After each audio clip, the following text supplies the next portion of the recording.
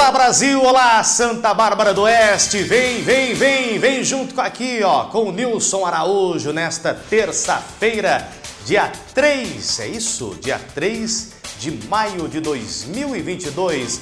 A partir de agora você vai interagir aqui junto conosco e vamos que vamos, hein? Ô, oh, terça-feirona boa, gostosa, maravilhosa. Olha aí, vamos ligar aqui, ó, vamos participar, vamos mandar mensagens, né? É, olha, coloca o, o zap zap aqui, isso, coloca aí, ó. Aí, ó, virei, tô mágico, virei mágico, né? É, é, você pensa que é fácil, hein? Reclamações, flagrantes, denúncias, etc. 997-82-4426. 997-82-4426, esse é o nosso contato para você interagir aqui junto conosco. Fiquem à vontade, tá certo, meu povo? Tá certo, minha gente? Vai compartilhando aqui o nosso programa. Compartilhe isso à vontade. Se inscreva aqui no canal da TV SB Notícias clique no gostei e ative o sininho. Todas as vezes que você ativar, clicar aí no sininho, nós vamos avisar você que o Nilson Araújo entrou no ar, tá aqui no seu celular, na sua TV, tá bom? Então vamos em frente que atrás tá cheio de gente. Olha, a Polícia Militar de Santa Bárbara do Oeste prendeu, atenção, foi isso, foi no domingo à tarde, é isso? Oh, oh, no dia no Dia do Trabalhador, veja aí, ó, no Dia do Trabalhador, foi ali na rua Paritins, um homem de 45 anos, um homem de 45 anos foi detido aí pela polícia, Jardim São Francisco, aqui na cidade, né? Linda de Santa Bárbara do Oeste. Os PMs, o Danilo e o Toledo, estavam em patrulhamento pelo bairro quando viram um suspeito. Um suspeito é, é, que demonstrou ali nervosismo, viu? E, e, contra ele tinha um mandado de prisão. Né? É, mandado de prisão é, que deveria ser cumprido. Né? Percebendo a viatura, o homem saiu correndo, foi acompanhado pelos PMs e foi abordado e ficou ali no chilindró. É, o chilindró. Fala isso, é? Tá aí o apoio da Polícia Militar nessa ação. Vamos colocar aqui agora aí, atenção, reivindicação dos pais ali é, da Rua Portugal, Jardim Europa, aqui em Santa Bárbara do Oeste. Ali tem a escola, né? Isso tem escola, tem postinho de saúde, tem base da Polícia Militar, né? É, e tem residências. É um fluxo de veículo de sobe e desce Mão dupla, hein? É, mão dupla. O transtorno para as crianças atravessarem a rua Portugal e irem, se dirigirem até a escola. Cadê imagens? Põe imagens para nós lá do movimento. Olha aí, ó. Vamos colocar imagens aí do movimento. Olha aí, ó, movimento intenso. Olha aí, as crianças. Essa aí é a escola MFEI Professora Maria Regina Barbosa Carpim. Fica na, na rua Portugal, Jardim Europa, em Santa Bárbara do Oeste. É ali na, no Rapadão, na praça. É Rossi Armênio, é isso? É, olha, criancinha atravessando, tá vendo? Ó, carros que passam, que, que sobem, né? E carros que descem, como aquele preto que você acabou de ver nas imagens. E aqui o povo fala isso. Olha aí, a mãe vai atravessar, segura aí, a mãe vai atravessar, atravessou a moto, a pisa ali, ó, tá vendo? O carro parou, tá vendo? Pra mamãe atravessar com o filhinho dela. Aí atravessou também o outro rapaz ali, o outro pedestre. Né? Olha aí, tem que ter cuidado, muito cuidado para não ser atropelado. Ó, tem um ponto de ônibus também, ponto de ônibus bem ali. Mas como é que o ônibus faz para poder é, pegar os passageiros? Põe o povo falando, põe aí no ar. Põe o povo falando aqui, o povo fala. É a Fernanda que falou. O que nós estamos reivindicando aqui é a melhoria no trânsito, porque as crianças tentam atravessar na faixa com os pais, a gente não tem assim aquela segurança porque é carro parando em cima, é moto como ela ficou uma mão dupla, de quando fecharam a Rua Espanha, o fluxo de veículos ficou maior aqui. E na época da pandemia a gente não trazia as crianças e hoje a gente sente isso na pele. Essa mudança que foi feita no trânsito atrapalhou bastante a gente. E assim, é carro, é ônibus, aí mudaram o ponto de ônibus para frente da escola. Então, aqui tá parecendo a Índia, tá insuportável o trânsito. É motoqueiro, é caminhão, é ônibus, é van, ninguém respeita nada e ainda assim a gente consegue trazer os nossos filhos. E aqueles pais que não conseguem estar tá trazendo os filhos, não estão a par de como está a situação aqui, de todos os riscos que essas crianças estão correndo. Então a gente pede assim, é mais atenção voltada mesmo para nós aqui. É, agradeço muito ao Nilson, agradeço também ao Dr. José por esse apoio que me indicou o Nilson. E o Nilson hoje está presente aqui tentando nos ajudar e eu fico muito feliz em saber que a gente pode contar com pessoas assim. Então eu peço assim, com extrema urgência, que eles venham ver mesmo e que possa ser feita alguma coisa para a gente para a mudança dessas ruas, porque nessa rua Portugal nós temos escola particular, nós temos creche, nós temos a escola da prefeitura, mais duas escolas para baixo, o posto médico, a base, então. É, o fluxo está concentrado aqui, sendo onde a rua Espanha ela se tornou é uma mão só a um certo pedaço, contramão para se descer. Então o pessoal se concentra aqui no horário de pico, não tá dando das seis e meia até sete horas, aí vem às onze e meia ao meio-dia, é bem complicado para a gente. Então a gente está pedindo uma atenção maior e eu agradeço e fico no aguardo da resposta.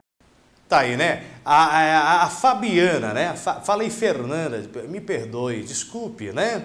É, é, não é Fernanda, é Fabiana. A Fabiana falou conosco ali, é a Rua Espanha citada por ela, é a rua paralela a, a Portugal, né? A Portugal é, é onde que está o problema. E a Espanha, é, é, antigamente, a, a Rua Espanha também, ela era a mão dupla, mão dupla. Só que ali não tem escola, não tem, é, não tem unidade de saúde, tem o comércio, por sinal, o comércio. Então, o que, que eles estão reivindicando, né?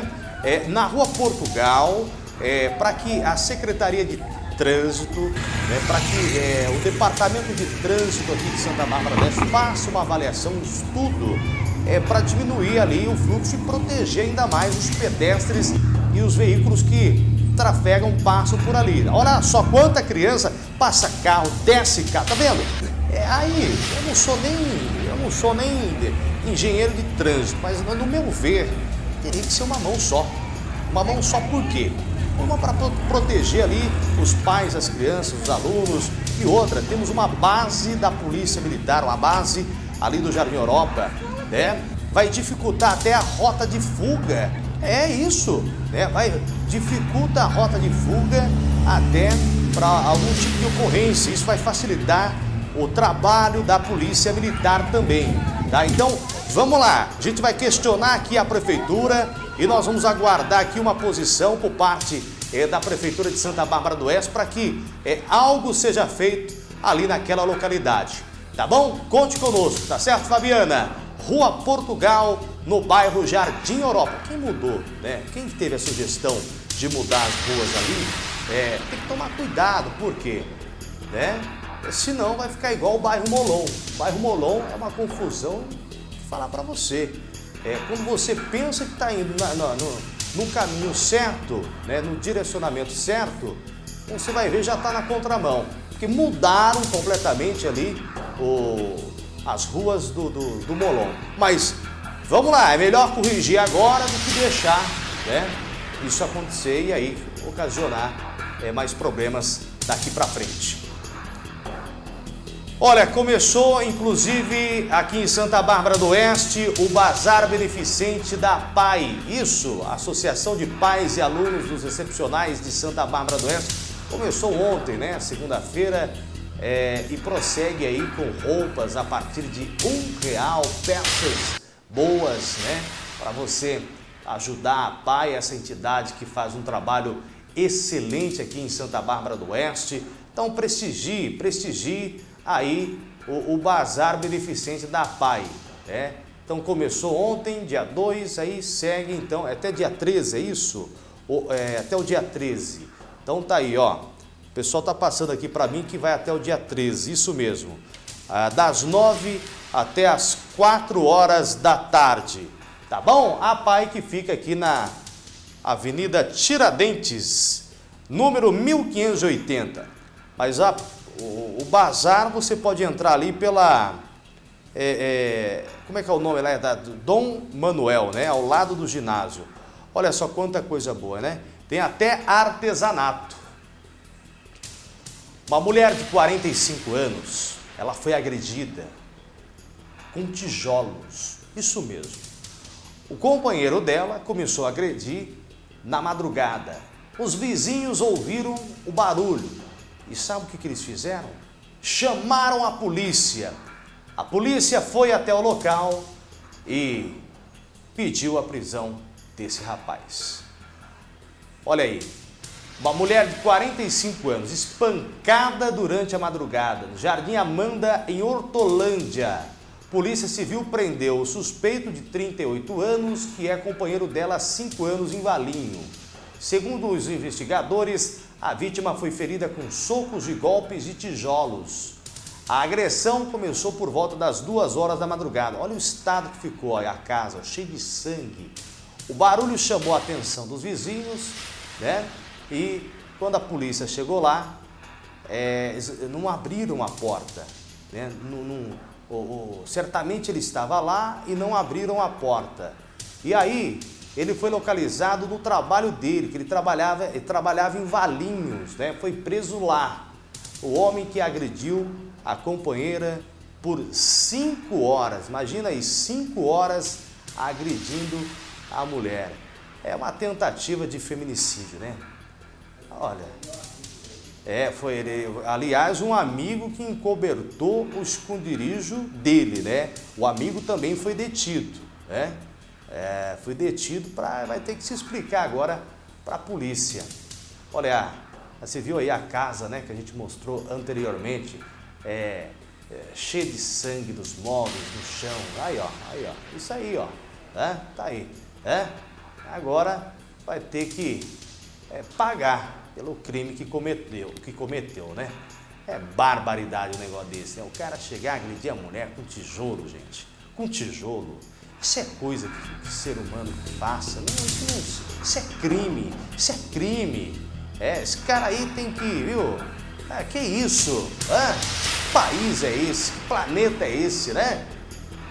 Bom, quero agradecer aqui a você que nos acompanha aí pelo canal da TV SB Notícias. Vai compartilhando, vai compartilhando, hein? Tá bom?